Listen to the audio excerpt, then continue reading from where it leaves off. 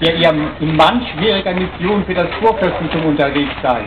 Und ihr, ehrbarer Junker von Brede, Oberhofkämmerer hier an meinem kurfürstlichen Hofe, euch tue ich, Philipp Christoph, durch die Gnade Gottes, Erzbischof und Kurfürst von Trier, kund und zu wissen, was meine Pläne sind.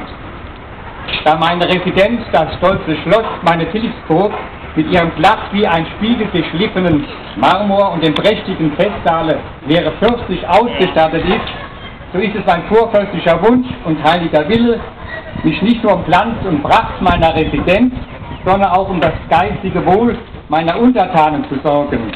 Hier in Mülheim im Tal soll der katholische Glaube blühen.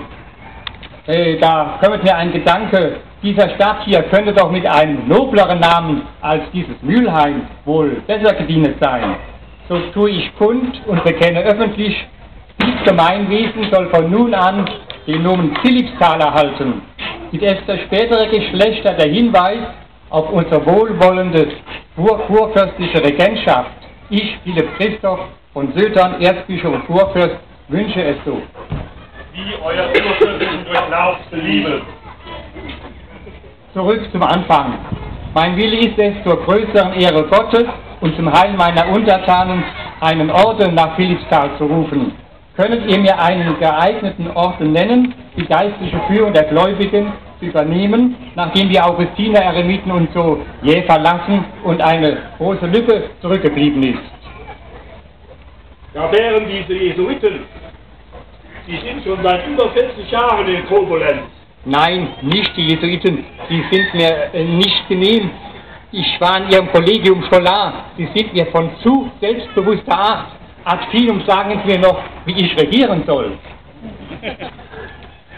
Da drüben in der Weitergasse in Koblenz gibt es die Dominikaner, zu deren Orden auch ich gehöre. Ach, die Dominikaner, zu Deutsch sagt man wohl, die Hunde des Herrn, diese geistigen Wadenbeißer Gottes, ganz vorzügliche Prediger, so wie ihr, aber omni und non, ganz und gar nicht, diese nicht. Ihre kurfürstliche Gnaden.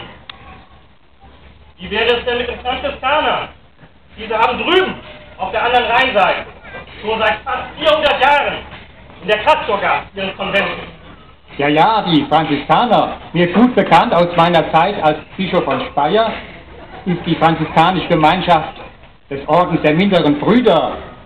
Es sind, sie sind rechten Glaubens, verstehen gute Messen, kluge, kluge Predigten und Katechesen zu halten, taugen als Beichtväter, sind dabei eines verständigen Sinnes und guten Gemütes und äh, bescheiden gerade das Richtige für die kurfürstliche Schatulle. Was denkt ihr, mein Herr Oberhofkämmerer? Nun, wenn die Patres nicht zu viel verlangen, der Verordnung nachkommen, nicht monatlich oder gar wöchentlich, mit Bettelstab und Sammelbüchse umherzugehen, nun, so mag die kurfürstliche Hofkammerei sie bezahlen. Kontaktiere er einen ihrer beauftragten Brüder und veranlasse er ihn, hierher zu kommen.